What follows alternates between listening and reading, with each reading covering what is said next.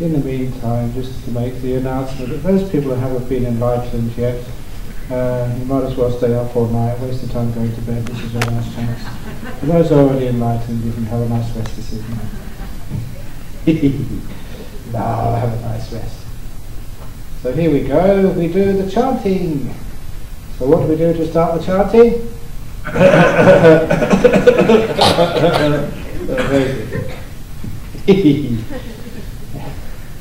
you notice that when you cough and people laugh, people don't tend to get sick? It's fun. So here we go. wait, wait for it. The first thing about meditation is learning how to be patient. So just wait for things to happen. Alright? Arahang Sama ปะกวะพุทังปะกวันตังอาภิวะเทสุอาคขโตปะกวะทาธรรมธรรมนามาสามิสุภาธิภาโนปะกวะโต Sāvaka Sangho Sanghang Namami Namo Tassa Bhagavato Arahato Samma Sambuddhassa Namo Tassa Bhagavato Arahato Samma Sambuddhassa Namo Tassa Bhagavato Arahato. Samma Sambuddhassa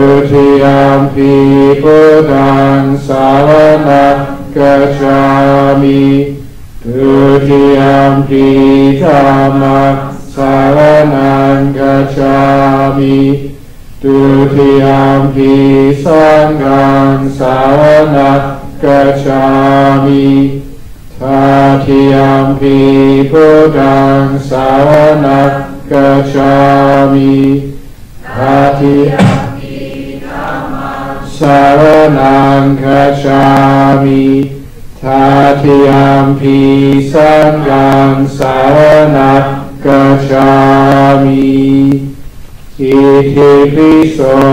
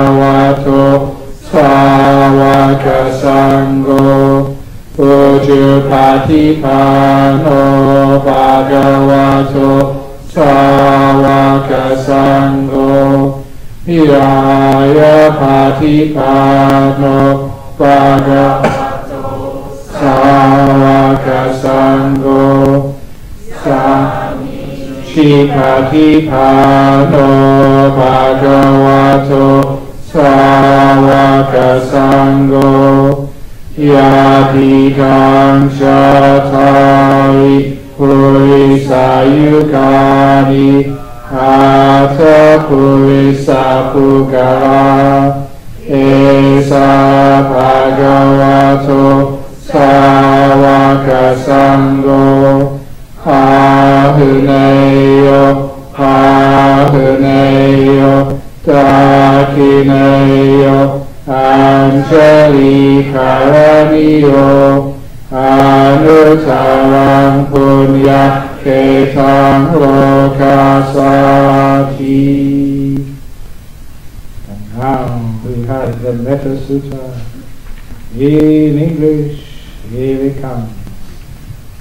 This is what should be done by one who is skilled in goodness and who knows the path of peace. Let them be able and upright, straightforward and gentle in speech, humble and not conceited, contented and easily satisfied, not busy with duties, and frugal in their ways, peaceful and calm, and wise and skillful, not proud and demanding in nature. Let them not do the slightest thing that the wise would later reprove, wishing in gladness and in safety, may all beings be happy. Whatever living beings there may be, whether they are weak or strong, omitting none, the great or the mighty, medium, short or small, the seen and the unseen, those living near and far away, those born and to be born, may all beings be happy. Let none deceive another, or despise any being in any state.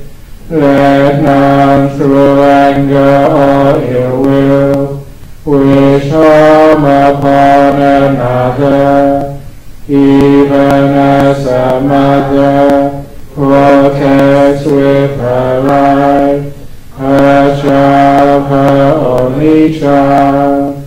So with a boundless heart should one cherish all living beings, radiating kindness over the entire world, spreading upwards to the skies and downwards to the depths, upwards and unbounded, free from hatred and ill will, whether standing or walking, seated or lying down, free from drowsiness. One should sustain its recollection.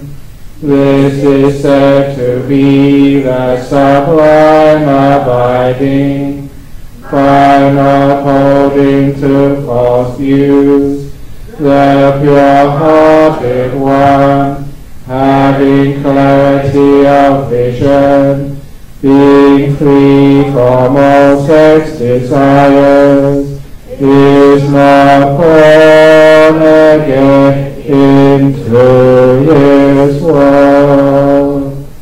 Sadhu, sadhu, sadhu.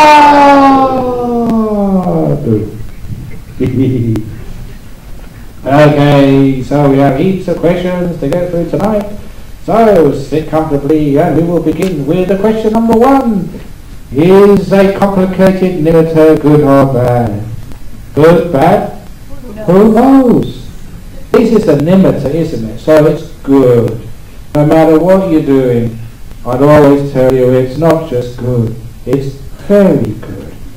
Even if you spent the last eight or nine, how many days we've we been here? I forget. The last seven or eight days sleeping all the time. Very good. So it's not your fault. There's no one in here, as I said this morning, there's no will, there's no being in there, so who's to blame? Anatta. No responsibility. Yeah. That's why I say that any complaints, go and see Eng Ching or Angie or Shirley. Any compliments, come and see me. I don't take any responsibility. So it's still very good. Complicated images are still very good. Complicated images is when you see scenery, faces, stuff like that. So there's more than one thing going on there. That's complicated. So try and keep it simple. And I, I, somebody did ask me that question in the interview time. What you do to turn a complicated nimitta into a simple one is look for the most beautiful part of that nimitta. I remember once seeing the scenery with the lakes and trees, and there was one tree which had one dewdrop on its uh, tip, on, on the tip of one of the leaves. It sparkled. So I immediately focused on the sparkle. And the sparkle became a beautiful nimitta. Or if it's seeing some jewelry, look at this wonderful diamond or it may be just a glass diamond. Somebody might have a glass eye, just look at the glass eye, see it sparkle. And then that sparkle turns into something beautiful. So you just focus on the most beautiful part. And the most beautiful part usually turns into a really nice nimitta, if you've got a complicated Dear your emptiness, please convey our thanks to Angie, Engine, Shirley, and all those who made this retreat such a memorable one. What do you mean memorable? It's supposed to it go.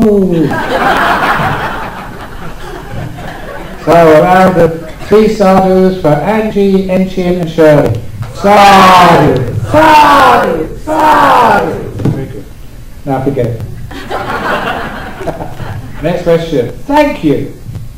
That's deep. Who are you saying thanks to? Is it me? What is this me you're saying thank you to? Is it my, my belly? so because I do this out of compassion because when I come up here all those other people are overweight, you don't feel so bad? When your teacher is overweight too? so it's really hard staying slim. It's really hard, you can't eat what you want, you have to exercise, you can't do this, you can't do that sort of compassion for it. So well, if, it's, if it's all right for Ajahn Brahm, must be all right for me. Very good. Statue, yes. My teacher, Ajahn Chah, he was fat. And the great, you know, the, the happy Buddha is always fat. So I'm just keep your tradition. Dear Exodus Ajahn Brahm, thank you so much for sacrificing your peaceful time to teach us for so many days. You have such a big sacrifice. Oh, you don't know how much I had to sacrifice for you guys. It was really tough. I really need a lot of sympathy.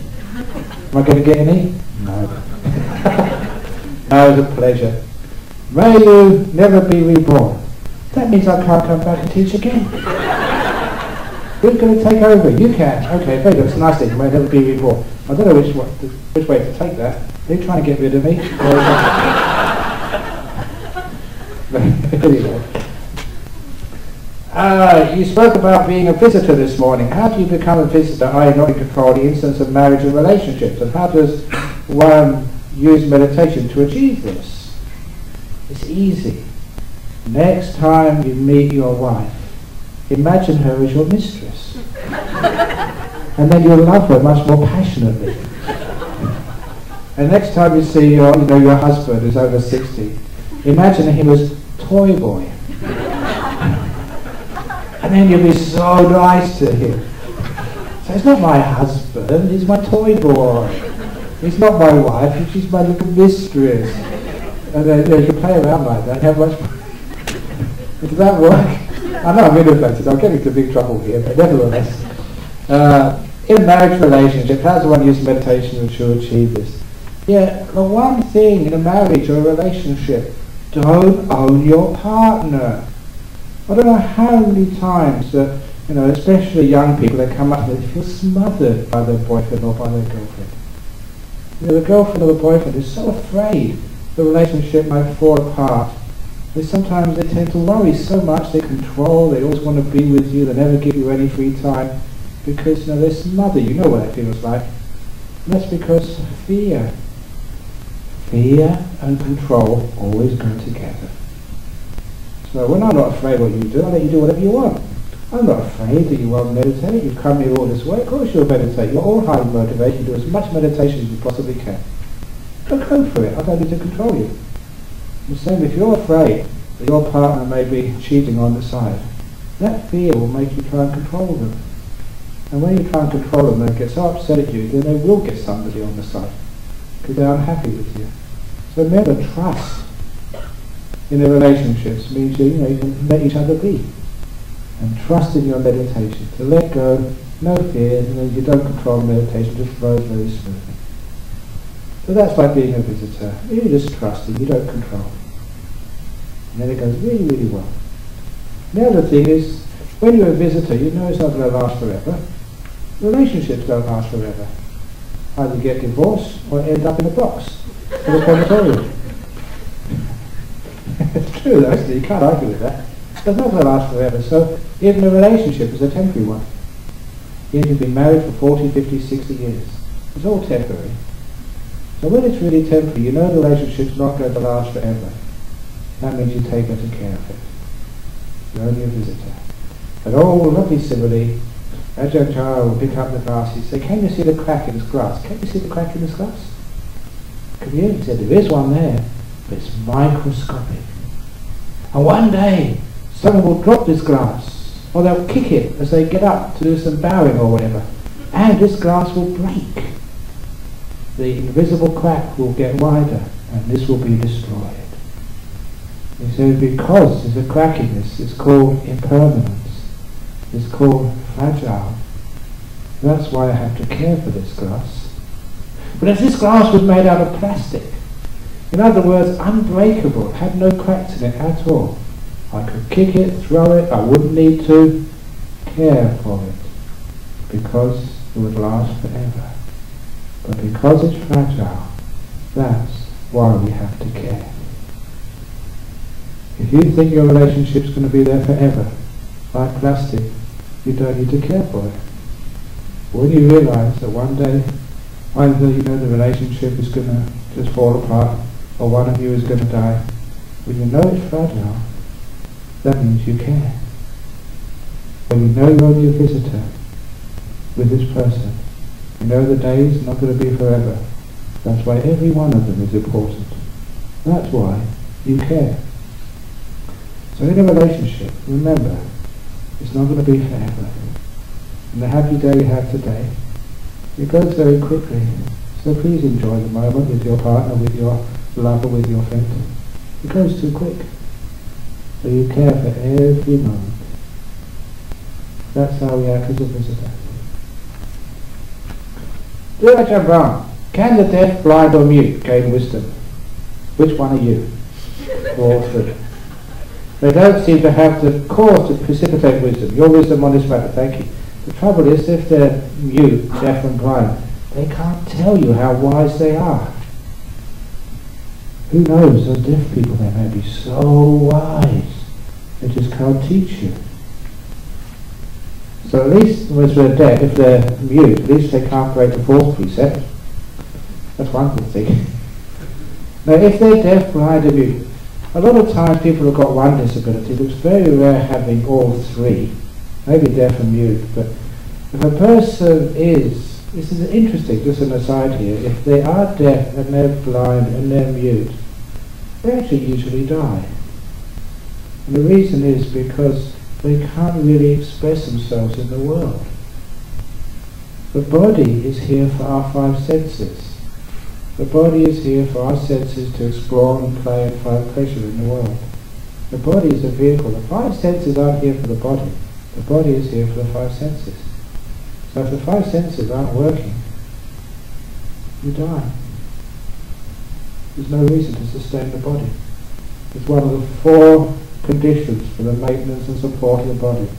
Contact, which means sensory experience. So the deaf, the blind, don't have that sensory experience. So straight away, their engagement in this thing we call life is diminished. However, if someone is just blind, or someone is just deaf, or someone just, well actually those are the main ones. If they haven't got any sense of smell, that's not a big one. Any sense of taste, that's not a big one either. Especially blind and deaf, they're very, very important. If you've just got one of those gods, I've only got four senses rather than the five, you know what happens? One of the other senses becomes more acute.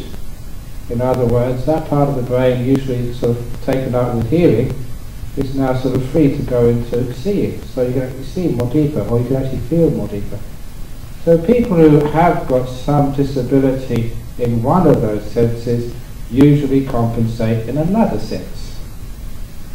And I always remember this. This was one of the stories about wisdom and compassion, which I read in an article, and I think I put in the opening the door of your heart as one of the stories. There was a young boy born deaf, really deaf, and uh, he was taken obviously to the doctor for regular checkups, and one just regular ordinary checkup.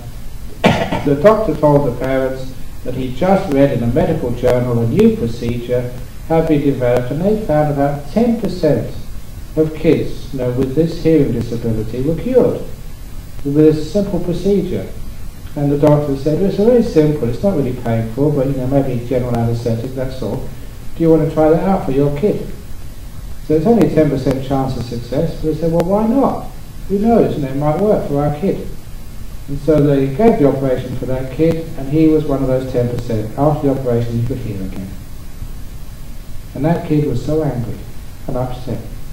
He said to his parents, why didn't you ask me, first of all, whether I wanted to hear? He said, this is such an awful noise. I was much happier not having that sense disturbing me. And he actually said in this interview, if you wanted to help me, give me another hand. Because that's how he was experiencing the world, through his sense of touch, even much more than his sense of sight. He's incredibly sensitive in the sense of touch. He said, I didn't want to hear. And you assumed that hearing was good. when I heard that, I realized that sometimes you really think you're helping somebody, and you're not. And of course, he never heard that conversation because he was deaf. If he'd have heard it, he would say, no, no, no, leave me alone. I'm quite happy as I am. So sometimes we want to change people. We want to change them. We think it's better to be like us. And actually they're more happy as they were. So ask them first of all. So, deaf, blind, usually I think you probably pass away if you're both. But if you're one, not the other. Usually the other senses become very acute, compensate, and usually get very wise. Dear Ajahn, when a human dies, they will rebirth or become ghosts. Can a ghost die? If yes, what do they become? That's interesting, isn't it? What happens to ghosts? If they die, you know, do they actually die slowly? And they have ghost doctors who try to revive them, who give them, uh, uh, not CPR, CGR, you know, Start trying to achieve a ghost, trying to revive them. Do they have hospitals for ghosts, do you think? I often wonder that about ghosts. I mean, what do actually ghosts fall in love and get married? Now the girl ghosts and boy ghosts, and uh, sometimes one of the boy ghosts passes by and wow, that female ghost, she's really hot. and they go out together at ghost nightclubs and stuff. And what do they eat? And uh, where do they, because apparently they only come out at night time, so where do they go during the day? It's really weird, isn't it? Because they usually only come out in the daytime. Do they go into their graves at night uh, during the daytime? They've got to get up there back into the cemetery before it's uh, dawn, so they can go and sleep again. Where do they go at night? Or during the daytime, rather? There's lots of interesting questions you can ask ghosts. And are there such things as ghost dogs and cats as well? What can there be? Because sometimes the dogs die, what happens to them? Can they get reborn as ghosts? And if there are ghosts, are there ghost dogs? People ask that question. When you go to heaven, can you take your cat and dog with you? Because people really love their cats and dogs. So, you know, it'd be a lot of suffering if you can't share the happiness of heaven with your dog or your cat. Apparently, according to the Christian tradition, you can't. Because I heard about this, that I think I was one of the monks in Melbourne just last May, which were talking about this. You know that there was a crazy American pastor who said, first of all, the world was going to end in April. When it didn't, he postponed it to October last year. Remember that? And there was one really sharp guy in the United States. Now, if I had a hat, I'd take my hat off to this guy. he started a company. Because according to that Christian tradition, this is now the evangelical Christian tradition, not the good Christians, but you know the crazy ones. and you know, some of them are really good. You know, just some of those. But anyway, they believed that sometime in October last year they would have the rapture, which means all the believers suddenly sort of they would disappear and all their clothes would be on the ground as they would be taken up naked into into heaven. But they couldn't take their cats and dogs with them. And this enterprising man said, look, I am an atheist. You can look on my blog, my website. I'm a confirmed atheist. You know I'm not going to go to heaven. And you know that your dogs and cats, the ones you really love, they won't go up there. So who's going to feed them when you go? I will feed them for $1,000 per cat or per dog. And I've got a whole group of, group of other atheists. You know, this is, they can uh, prove that they are atheists, so you Christians know for sure they're not going to go to heaven, and we look, for your, look after your cats and dogs for you. Because you know, many of these people, they're a bit sort of silly, but they were very kind, and so they wonder what would happen to their, you know, their pet dog, their little rover, and little sort of Tiddles the cat, you know, when sort of, when we pass away. So they signed up for this. Of course, there's no money back if the rapture didn't happen because these people were totally convinced the end of the world would be last October. So this guy made a killing on it. He, he made millions on this, so the stupid people all signed up for the, to look after their cats or dogs. I really was disappointed the Buddhist Fellowship never saw that and offered to help all of the evangelicals uh, in Singapore because they know in their rapture, the Buddhist fellowship, you Buddhists have no chance of going up to heaven. So you can stay in Singapore to look after people's pets and dogs. Good idea, eh? For $1,000 sing a, a, a, cat or dog? Well, there's another end of the world going here, but I think people have seen that, so they won't do it again. He's the first guy who got the idea. Good on him. Made a fortune. So when a human dies, they'll be reborn or become a ghost, yes. Can a ghost die? Of course a ghost can die. He just passes away and passes on to a new realm. So that's why if you see a ghost you really have lots of method, just say, come on, I'll give you some good karma. Remember your good karma as well, ghost. And let go of the ghost realm and get a nice human realm you're going to heaven there. You can do that with a bit of help. Now, I'm a monk, I've got connections, I can sort of fix it for you. so that's what they can become.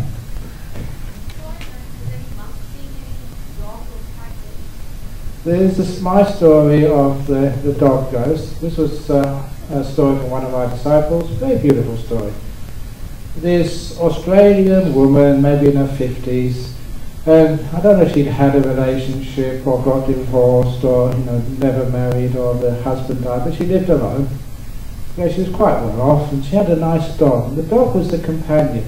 You know that many people, they love their dog, they love their cat like a human being, and they're so close to them, so much so, that many times you have to give grief counselling to people who've lost their dog or cat. I mean, they really are suffering, as if they'd lost a son or a daughter. And anyway, she lost her dog. Oh, first of all, just a few days before she lost her dog, she was taking the dog through a walk in the park, uh, through a forested, wooded part of this, uh, this park, and when she got halfway home, she realized she'd lost her finger ring. It wasn't very expensive, but it was an heirloom. Someone important had given it to her. And so she immediately retraced her steps, trying to find her lost finger ring. But it was in a forest. You can't find it. She tried, but looked for an hour or two with her dog, couldn't find it at all. And anyway, a few days later, the dog died from natural causes. And Afterwards, she told me this story. She said, afterwards I heard my dog barking around the house. Now, it's my dog, I know its bark. Now, if you live with a dog for so many years, you know your sound of your dog's bark is totally different than any other dog's bark. He said, I heard it many times, There's so many times I tried to see it. I could hear it in the room, I opened the door, and there's nothing there. And he said, but one day, I heard the dog barking outside the front door of the house and I happened to be just on the other side of the door. So I quickly opened it to try and see the dog. There's nothing there. Except in the middle of the welcome mat, right in the middle, was her ring. The ghost dog had found her finger. Uh-oh, there's a ghost of Aggie monks who speaking to him. What are you doing taking the picture of the ghost quite old Why are you coming close? okay, here we go. So that's the ghost dogs. And, and maybe cats as well. So I don't know if there's any other ghost dogs or cats, but that's a beautiful one because the dog found her ring for her and brought it back. She'd been in and out of the house a long time, but suddenly, whoop whoop, and on the other side of the house, behind the side of the door, was her fingering she lost. The dog found it for her. Weird, but it's quite cute, quite lovely. When do we do more meditation as a beginner? Do we, or when we do more meditation as a beginner, do we have more dreams? This last last eight days, I've had weird dreams, dreams of monsters and unnatural death of friends and family members. Thanks, really, thanks.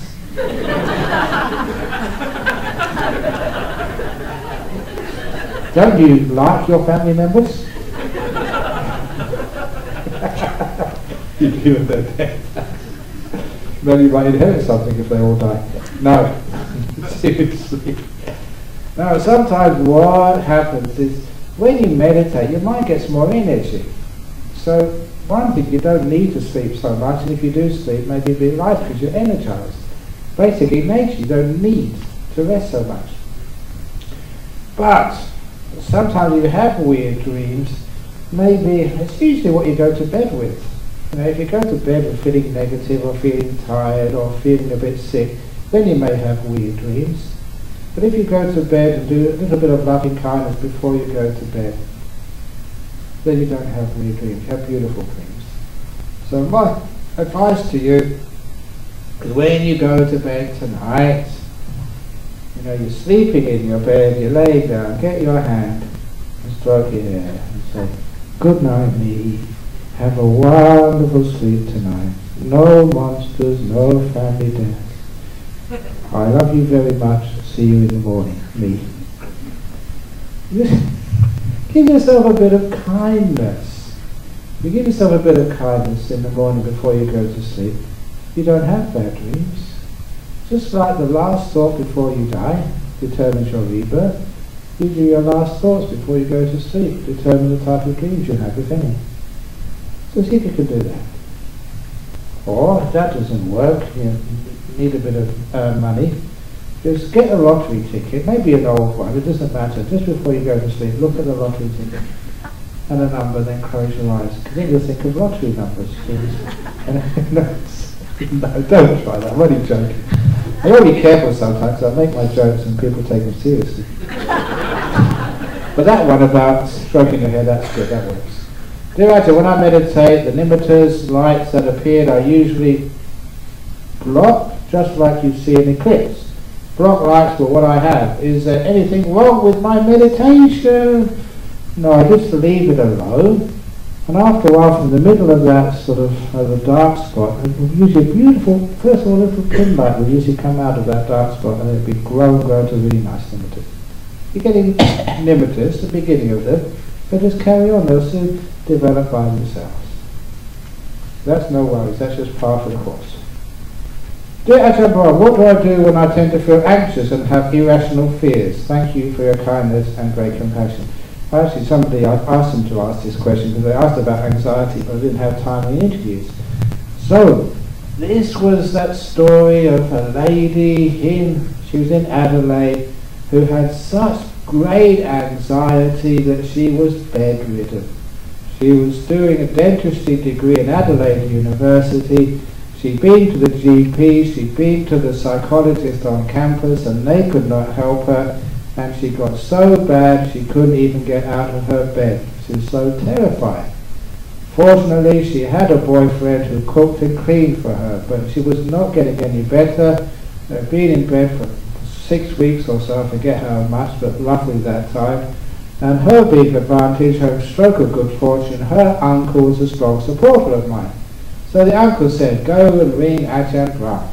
So she gave me a call and she said about, well actually her uncle told me first of all what was wrong with her. She had incredible powerful anxiety attack, so bad she was in her bedridden.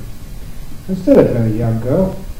And so I asked her, this is how to get rid of anxiety. I said, when you have a panic attack, when you feel that anxiety, where do you feel it in your body? Because every emotion has a corresponding bodily feeling. And she said, I don't know. I said, give me a call in three days when you can tell me. I gave her something to do. Taking control over her therapy is a psychologically wonderful thing to do. So three days later or four days later, she called me up and said, yeah, whenever I have an anxiety attack, I feel it's just above my breast, you know, just in this chest area. I said, great, what does it feel like? She said, I don't know. I said, give me a call in three days when you can describe it to me. Now I was giving her a test in mindfulness. So she had to be aware of this feeling and be able to know it so well she could describe it to somebody else over the phone. Three or four days later she called again and she gave a very good description of the, the feeling when she had anxiety disorder. Now, I didn't tell her this, but I made her establish mindfulness of the bodily part of that emotional disorder. I said, right, now what I want you to do is to give it some kindness. I never said that. I told her to take your own hand and massage it. Massage it with as much tenderness and love as you possibly can. If you feel you can't do that, get your boyfriend to do that. That's what boyfriends are there for. So then give me a call in three or four days. So she was following the instructions. Three or four days later, she called again and said, did you do it? I said, yes. And what happened when your boyfriend or yourself massaged that area during a panic attack? He said, oh, the feeling in the chest disappeared. You know, because that's what happens when you massage. You relax all the muscles over there so the feeling in the chest disappears. And then I said, what happened to your anxiety at that time? And that's when she paused. Those wonderful pauses when you realize people are getting the message. Said the anxiety disappeared as well. Said exactly, now you know how to overcome your anxiety. Don't try and deal with it on an emotional level, because you're, basically you're out of control emotionally. But the emotion of anxiety, it does have a physical counterpart. You know that feeling now, you've been mindful enough of it, now add that kindness by massaging it very softly and you find where the physical counterpart of anxiety is ease, the cause of it, the emotion, will also go as well. And so never needed to phone me again. About a couple of weeks later, she was out of bed, back to university. She got her first, first class with honours at Adelaide University. She's just finished doing this incredibly hard to enter course in some part of dentistry in Sydney. Thousand people applied, only three got in. She was one of them. And a couple of years ago, she married that boyfriend, and I did the ceremony for her. A nice romantic sort of ending. Happy ever after. That's wonderful. I just, eh, they come and see me every now and again because basically I saved her life. Literally. And that's how it works. If you have anxiety or fear, you go to an interview, you're having to perform an examination, or you know you're getting married or something, and you're really, really scared. Where is that manifest in your body? What does it feel like? Massage it. Massage it so much that the whole feeling sort of disappears, and then you find the anxiety's gone as well. So if you go to some interview for a new job, that's how you do it. Very simple, highly effective. And every time I teach that to psychologists, they get out their notebooks and write it all down. Well, they never give me any sort of credit for it or any sort of uh, uh, reward for the patent. but I don't care. A lot of people are getting rid of anxiety. Dear Ajahn Brahm, thank you for being the soft and cuddly, and may I add, wise monk. Oh, isn't that nice? soft and cuddly and wise. But please don't cuddle me, otherwise someone takes a photo and I'm in big trouble. Actually, I don't know if I told you the story that I got, you have to be very careful as a monk. And this actually happened, it was so lucky that no one had a camera. This is true stories. I was teaching in a prison in the town of Bunbury to the south of Perth. And it was an evening um, session, that's the only time they'd let me in. And the only time I could get down there was the afternoon train. So I had about two or three hours know, to spare. So, you know, Australia's got these beautiful beaches and they're mostly deserted. So I went down to the beach to meditate for a couple of hours. Really nice meditation, just meditating there by myself, totally empty beach. And you know when you get into deep meditation, you can't hear sounds around you. So when I opened my eyes, finished the meditation, it was so peaceful. I noticed there was someone sitting on my left and someone sitting on my right as well. And these were two 17-year-old, you could only describe them as hot chicks in bikinis you know, one with long blonde hair, and the other one with long black hair or whatever, sitting right next to me. And I looked at them, what do you want? Said, oh, we've been waiting for you. We've been sitting here while we saw you meditate. We want to ask you some questions about Buddhism and about meditation. It was perfectly innocent. What had happened, it was the last day of the university entrance examinations in Western Australia. They call it the TE over there, tertiary entrance examinations. And they just finished their last exam that afternoon. And of course the last exam, into your bathers, down to the beach, party. And I got a, heaps of parties later on, but they saw me and it was really interesting. I've never seen them much, you know, Brown Road sitting so still. So they really genuinely wanted to ask questions. So I answered a few questions. I looked around to make sure there was no cameras at the time. Imagine you took a camera, Ajahn Brahm, with a beautiful blonde 17 year old in a bikini on his left hand and I got one in the right hand. I would never ever be able to explain that. Never. it was innocent. when you get yourself in those troubles, so I've got to be careful, careful sometimes. That happens, so it's really interesting in life. But anyway, no, no, it's been a long time ago before Facebook, thank goodness. Before these mobile phones which can take a photograph of anything, in those days you had to have real cameras, but still it was a very close thing. you can imagine how I feel. Ah! I, I didn't listen, I didn't do anything. Anyway, thank you for being the sort of cutting wise monk. By the way, when can we stop being silent? Not that it's repressing me or anything like it, thank you. When you die. Be the silent sage. You know, it really impresses people when you just stand there without saying anything. They think, wow, that's so deep. If they ask you a question, you should say to them, he who knows doesn't say. she who says doesn't know. Wow, that's deep. And that way you can get, get away with anything in life. When your boss at work asks you a question, you say, she who knows doesn't say. She who says doesn't know. the boss will think, wow. or they'll probably thank you. Now, I don't know, when's the right time? You want to start speaking tomorrow? Or lunchtime? Not for me, I don't know. Yeah, I know that.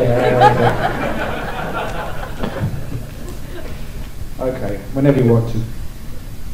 Thank you for an insightful retreat and being a wonderful mentor who has helped me understand and overcome my doubts, fear and lack of confidence in meditation, even though I have not made much progress. No. I will continue to persevere with your words in my mind. Have a safe trip back. Do I have to? I refuse to follow orders.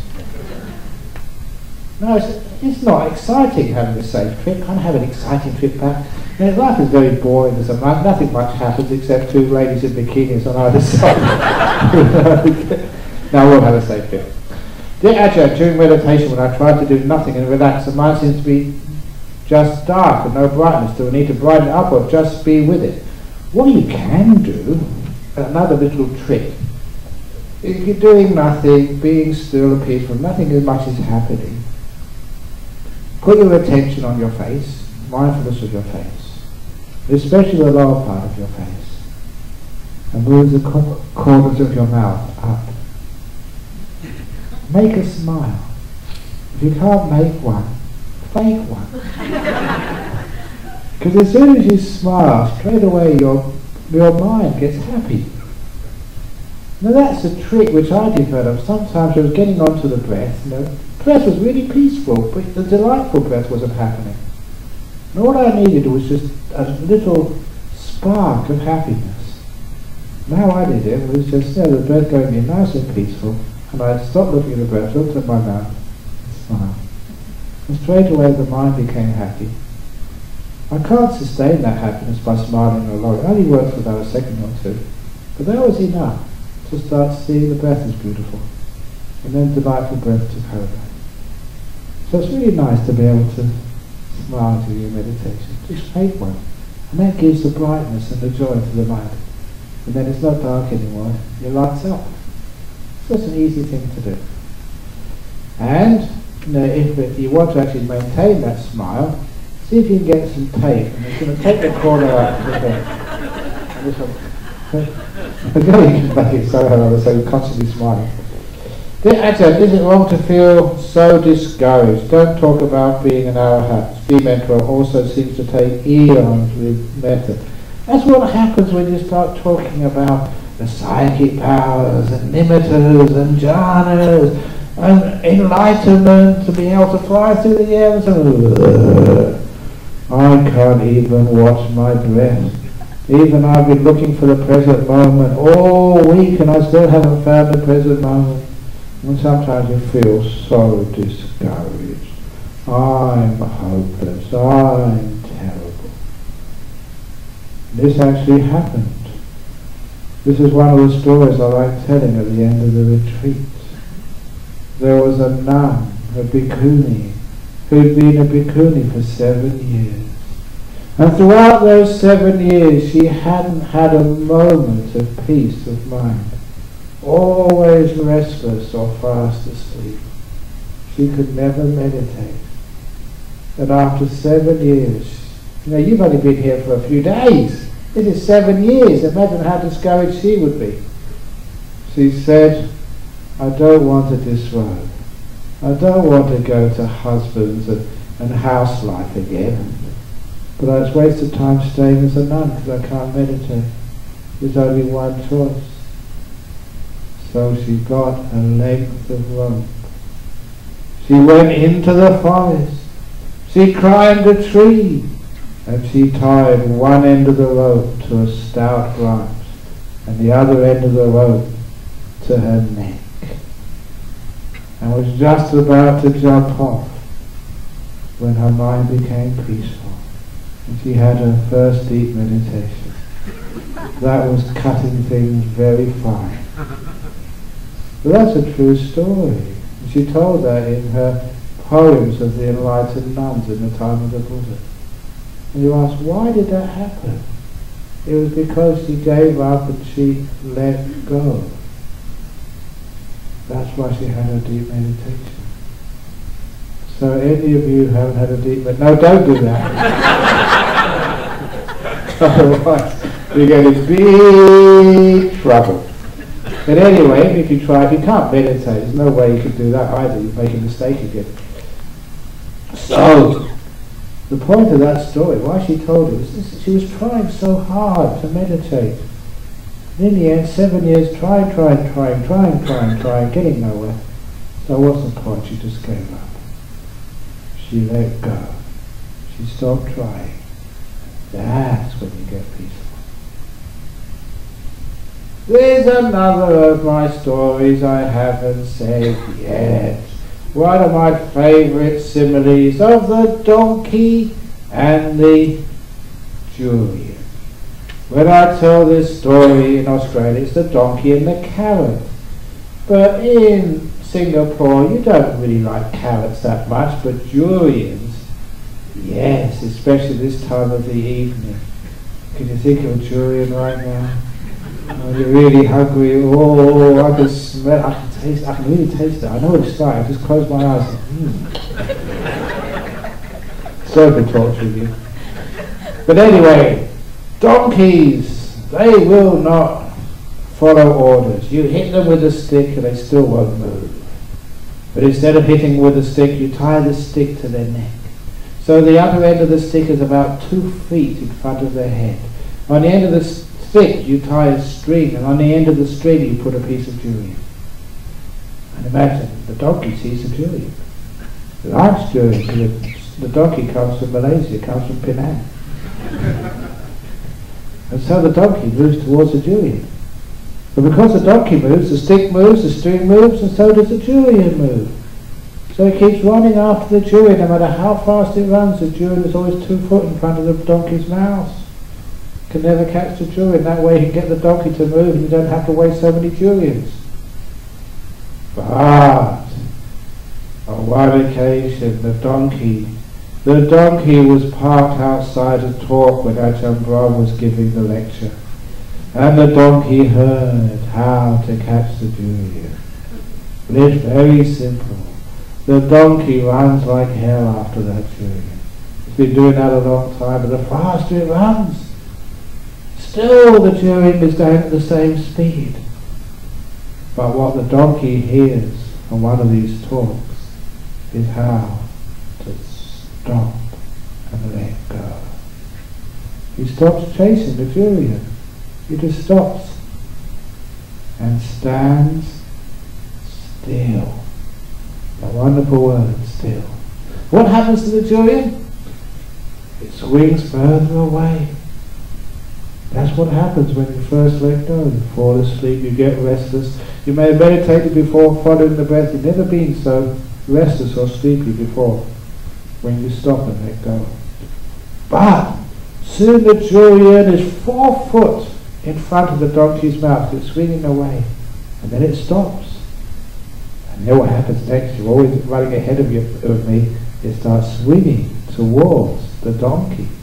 And soon that durian is two foot in front of the donkey's mouth where it normally is, but now is coming at great speed towards the donkey's mouth. And all the donkey does not do anything, just remains still and just has to remember it's not just stillness, it's also compassion. Just at the right moment, the donkey says, The door of my mouth is open to you, durian. And the durian gets in, and that's how the donkey catches the durian. Remember, you've been running, you've all been running long enough. You stop. Durian swings up, down, into your mouth. Thank you very much. That's how you get Nimittas Jhanas enlightenment. So it's really easy when you know how to stop. You know how to run. Now you learn how to stop. And he doesn't get discouraged anymore. Once you get the trick, everything happens. And it's so easy. wow. Just as the Buddha said. That's how it happens. Next question coming up, I can open it. Dear Ajahn Brahm, the empty junk eater, can you describe? Oh, dear Ajahn Brahm, the junk eater. I don't eat junk. I eat healthy baked beans. Baked beans, I, I read in an article that baked beans, I love those for breakfast. That was way up there in the healthy foods next to broccoli, and next door because it's, you know, it's full of um, antioxidants, lots of tomatoes. That's actually very good for you. Can you describe each of the four jhanas in detail and explain the differences? Thank you. Of course I can. That's the answer to that question. Ask can I? and if you want to, it's in that book for goodness sake. Basically, the difference is the different quality of the bliss. Just like you have different ice creams, they're all ice cream, but there's vanilla ice cream, there's strawberry ice cream, there's chocolate ice cream, and there's double chocolate ice cream. I forget what other ones they have, but anyway, that's enough for now. So they're all ice cream, but they've got different flavour. And it's the same with the jhanas, they're all bliss, but different flavours of ecstasy. And the more you go deeper, the more subtle and delicious is the ecstasy. Which is, if you ever experience first jhana, think, wow, this is the ultimate, you can't get more bliss than this. And then when you enter a second jhana, wow, this is so much more delightful. But the first jhana is a totally different type of ecstasy. And when the third jhana, wow, this is even more delightful. You never knew there were so many places available and all more profound, all more deep, thousand times better than the one which went before. That's why you really have fun with these jhanas. And the fourth jhana is so still. That is so delightful. Just like a person who's never had fine food before. When you actually get fine wow, I never knew something to be so delicious. Those are the jhanas. Different flavors of bliss. Ajahn Brahm, when, do, when we do body awareness, it is simultaneous to doing present moment awareness. It seems impossible to do body awareness and yet still be thinking. Yeah, almost. If you really do body awareness very accurately, you're just aware of a feeling in the body. But a lot of times when a person does have a feeling in the body, then you start thinking about it and giving a commentary about it.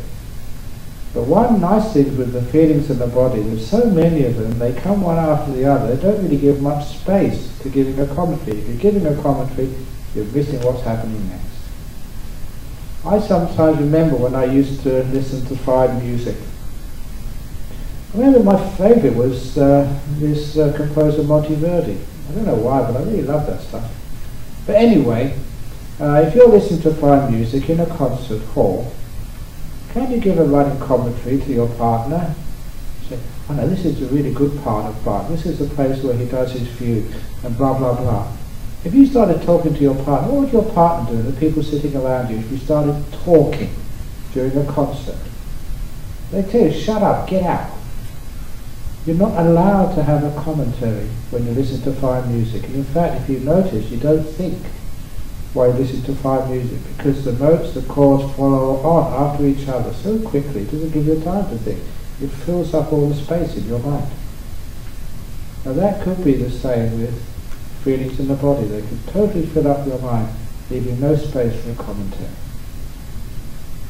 Or you do the Om Mani Padme Hum, totally filling up the mind. There's no space for thinking.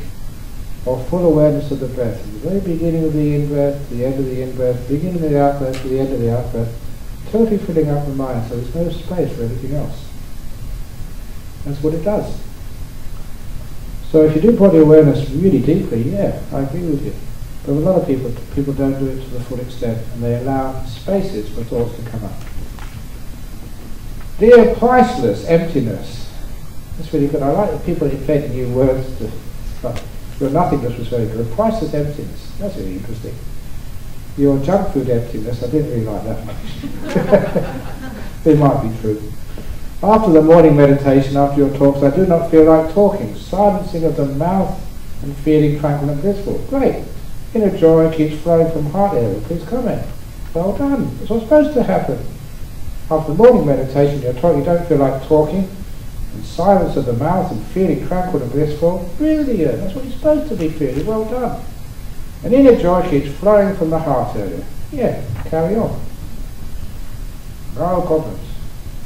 But you probably wanted to get in the afternoon, never got it. I understand why. Dear Ajahn Brahm is drawing and sketching, breaking the eight precepts. It depends what you're drawing. If you're drawing pictures of fat monks, then that is breaking the precepts because that's right. No, it's not. As long as you're not sort of, you know, um, doing it too much. Bit of recreation, never mind. I suppose if you're drawing pictures of people with little balloons and they're speaking, I suppose that's breaking the precepts. I remember, I remember, I remember getting this card, uh, which I actually, uh, uh, it's like a monk's card. You know, one of these cartoons. I had these two monks in one of these. Uh, Benedictine or, or Christian monasteries.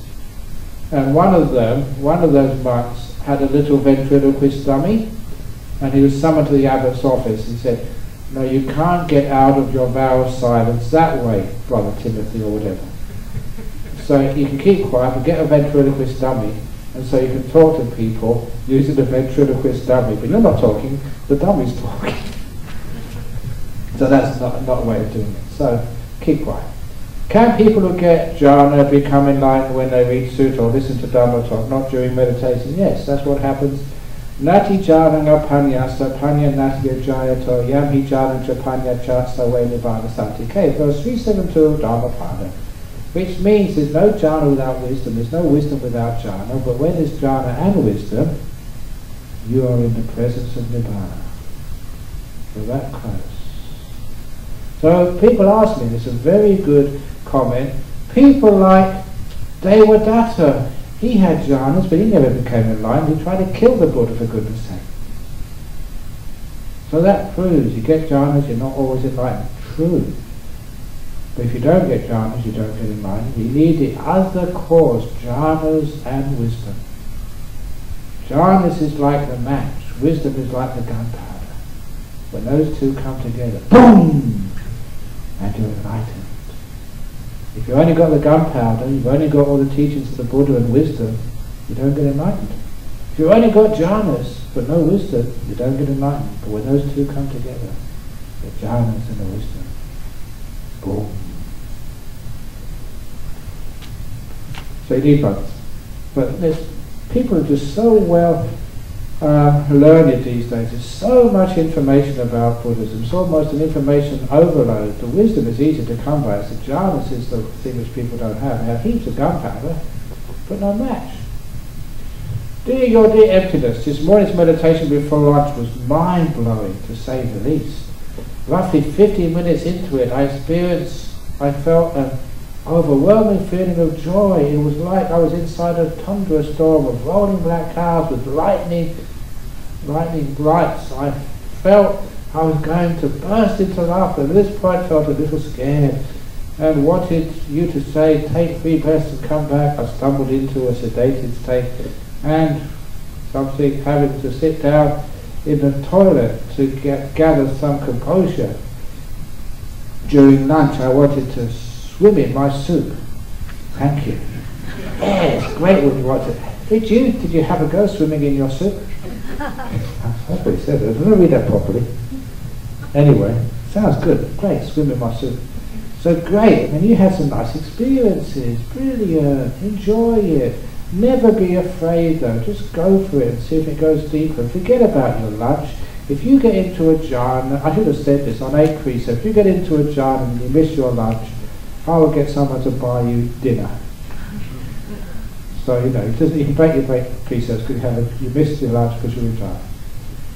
Dear Ajahn, my spouse had encountered a near-death incident last year, and now I'm living in fear that he may die before me whenever he is ill. Is there any way to meditation, any other way to lessen or overcome this fear? Thanks very much. One way over to overcome the fear of your spouse dying before you is to check how much you're going to inherit in the will.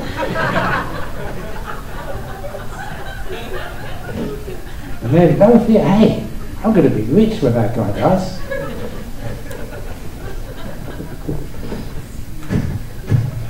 no, forget about it. Just because they had a near-death experience, it's probably had a near-death experience and they're probably told it's not your time to die. So you can ask your, your husband, your spouse, when did they say you're going to die?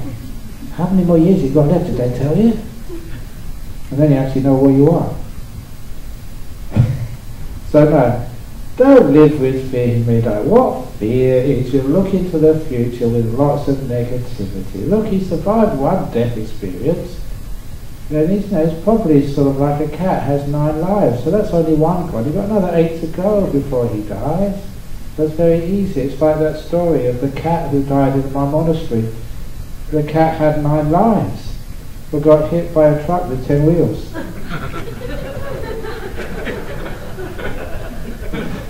Shall I say that again?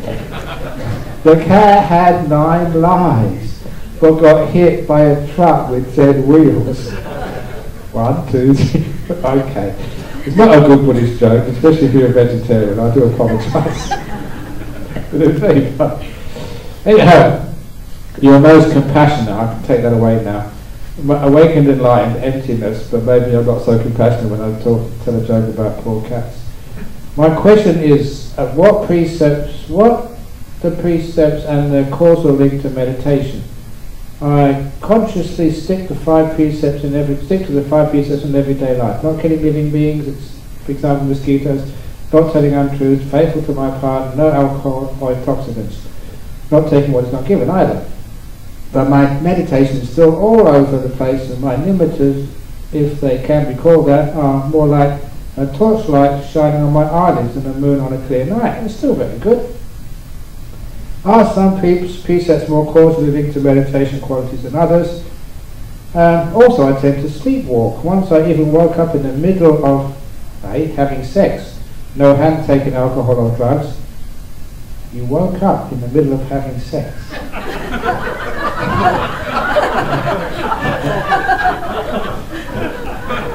that couldn't have been very good sex.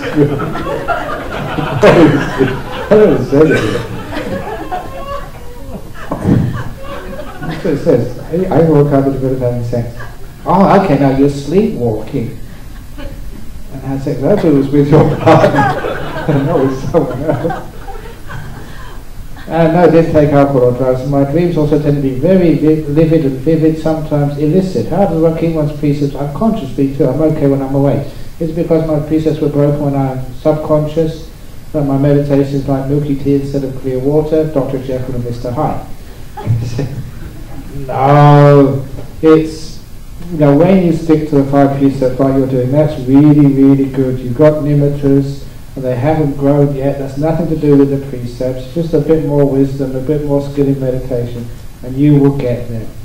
As far as sleepwalking is concerned, I don't know too much about sleepwalking, but uh, if you want to avoid the problems in sleepwalking, you can condition your mindfulness before you go to sleep at night. You may tell yourself, I will stay in my bed, I will stay in my bed, I will stay in my bed basically you're giving instructions to the mind so when you get in that state where you usually sleepwalk you stay in your bed and you won't sort of uh, do things you, you would rather not do. So you can program your mindfulness, give yourself that conditioning, basically you know, self-hypnosis, self-conditioning to tell yourself, I will not do these things, I will not do these things, I will not do these things. And that way you'll find that that affects your dreams and you don't do those things which cause you problems afterwards. But basically, if there's no intention there, it's no bad karma, it doesn't affect your meditation at all. So basically, you're clear. Dear Ajahn Brahm, during retreat is it necessary to be mindful of all activities from the time we wake up to the time we go to sleep. With this help and lead to faster and deeper meditation. It's so hard to be mindful all the time. Exactly. So which is one of the reasons why it's much better to relax more. I know all these people who try to be mindful of every activity, so much stress and so much control, they never get peaceful at all. So I wouldn't try that at all. Let the mindfulness grow naturally. If you go for stillness, the mindfulness gets strong, you get superpower mindfulness, and then you're mindful of so many things naturally rather than forcing it. But don't force it, for goodness sake. Keep it natural. So the mindfulness of all activities comes at its own time. You don't force it, you don't make it happen. Direction Can one get jhana when doing walking, lying down, meditation, walking, no stillness, and lying down too relaxed to go to sleep? Uh, you can get jhanas when lying down meditation, but you've got to lie down in the position you don't usually go to sleep in. And jhanas when walking, I never thought that was possible, but someone said there's a monk here in Thailand who could do that, and they know he can do that because he's got all these cuts and bruises on his face. Because if you get into jhana when you're walking, you don't know how to stop. So you bump into things. So it's not recommended. If you're someone who does get jhanas while doing walking meditation, please buy a crash helmet and other stuff which will protect you when you walk over a cliff. what is the difference between jhanas and nimittas? Nimittas come first, jhanas comes afterwards. How do we know which stage of jhanas we are in? By reflecting afterwards what it was like and you soon get enough experience of the jhanas, you can actually look and see what the Buddha said, it's different types of bliss. You can actually understand what those different types of bliss are. And also it gives you huge amounts of insights. Dear Ajahn Brahm, there's so many interesting Buddhist articles on the internet these days. Blogs about this Rinpoche, that, um, that Ajahn, Zen Tibetan Buddhism, good Buddhist films to watch, and I'm guilty of happy spending too much time on these that very often I have no time to meditate. How do I filter what is appropriate material worth spending time on? It's much better spending time on your own mind than actually just seeing other people's minds. It's like Ajahn Chah used to say that when you have your lunch or your dinner, you have the main course first and then you eat the sweets. So all of the reading, seeing the movies, going on the blogs, that's like the sweets. So you can have sweets as long as you have the main course, which is your practice. So you actually keep the precepts and you do the meditation. And then the sweets are like the reading and seeing all these things afterwards. But if all you eat is sweets, you're not going to be very healthy. So you can balance the amount of practice with the amount of study. The study, he said, were the sweets. The practice, that's the main course. When my breath disappears, I panic and then try to locate my breath. How can I let go? Well, you're going to die anyway, so you might as well get it over and done with. So if your breath's disappearing, say, yes, bring it on. I want to die. And then, so you're not panicking anymore. Or you can remember what I keep on saying to you, that it does not matter. Your lungs know how to breathe. They've done it for so many years. Ask yourself how old you are. If it's been doing it for so long, it's going to carry on doing it. You're not going to die now.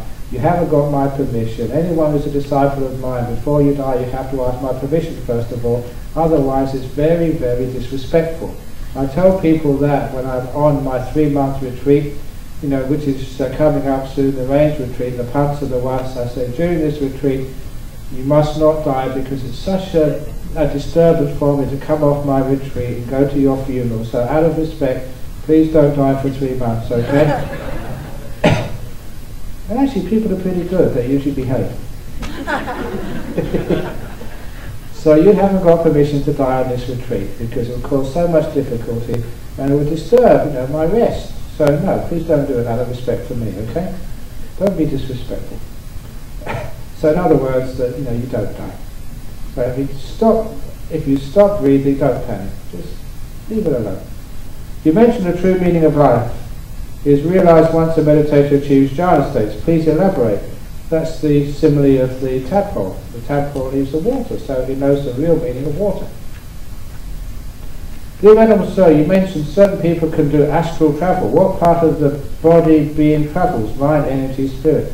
It is the stream of consciousness, the sixth sense, creates this mind-made body, which is your vehicle for traveling outside your real body. So your real body just sits there or, or lies there and your mind-made body creates this other body. That mind-made body is also the body for ghosts as well. Could you please explain the difference in each jhana? Done that. How does one know if he or she is a stream winner? It's very hard to know if you're a stream winner, but it's certainly easy to know that you're not. Next question. For people who get jhana, does enlightenment happen only during jhana state of meditation? Does enlightenment happen during meditation? No, it happens after jhana, it's not during the jhanas. The jhanas become the cause. And then afterwards, boom. Brahma, when you visit the higher or lower realms, how do the beings look like? Are they as depicted in the murals, illustrations in Buddhist monasteries or books? How do you communicate with these beings by thoughts or sign language? When I go into the higher realms, the beings, they all have these uh, uniforms on. Uh, you know, the, uh, the ones which I mostly see in the higher realms have a bit of split skirts, and I think the senior ones are in red, and I think green for the next level, and the older ones are in blue. You understand what I'm talking about? Yeah. That's Singapore Airlines, the flight attendants, that's when there's always a couple with caps on in the high realms. when I when I go to the lower realms, they're usually very dirty. and know, usually have a little hat on with a light on the front. you know what I'm talking about. The mines in Western Australia, those are the people who inhabit the lower realms, the miners. So that's what the, the lower realms look like and the higher realms look like. That's at the higher realms. One last question, then we go for the toilet break the mindfulness, ah, oh, the meditation. Do Dear Ajahn Brahm, can you share your wisdom on when to let things be and when to take action? Someone I know is working in an unethical way. Ooh. Using their position to manipulate and use others for their own personal gain. Ooh. When I see others being hurt and abused, should I take action and speak to the person who's being unethical? If there's something you can do, then do it. But a lot of times there's nothing you can do. So when there's nothing you can do, you just have to let it be and let karma take its course. As soon as someone's doing unethical, they usually get into trouble sooner or later. So if there's something to do, then do it. If there's nothing to do, then bide your time. Wait. Also, if you're going to take action, sometimes you have to see, are, are you capable of taking action? How's it going to affect you? Have you got enough strength, enough time? Even enough finances? If you're a whistleblower, sometimes you know you get into big trouble like that Julian Assange. So be very careful. Know your limitations. Know what you're capable of. Um, you know, just going back to that um, that uh, Bhikkhuni ordination, before I did that, I really looked, have I got the strength and power to withstand what's going to come? And I said, well, actually, I told some of my friends, I said, I could do this, not many other monks could do this, because I've got enough power to do this, I can get away with it. Other people won't be able to do that, they will buckle under pressure. So know your limitations. If you're going to make a stand on some ethical cause, sometimes you're not strong enough. You just haven't got the strength. So you just have to let it go even though it's painful for others, you can't do anything. It's a very sad thing sometimes to do that, because sometimes you have to know your limitations. But if you can do something, then don't be scared, do it. That's the last question in the basket. The basket is now empty. So, now's the time to empty your bladders. if there's nothing in there, you don't need to go. But if there's something to do, then do it. And come back afterwards for some meditation.